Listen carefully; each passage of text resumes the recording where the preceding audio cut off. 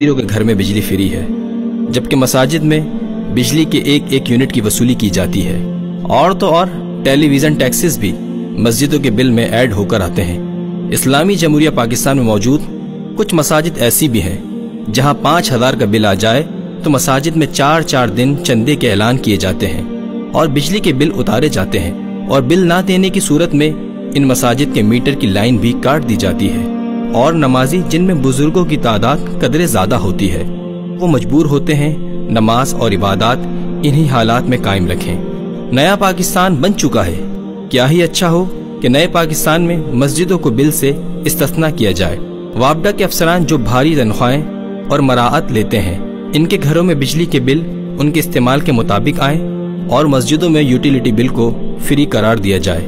اس سے نہ صرف ہم اللہ کے گھر کی خدمت کر سکیں گے بلکہ اپنی آخرت بھی سوار سکیں گے۔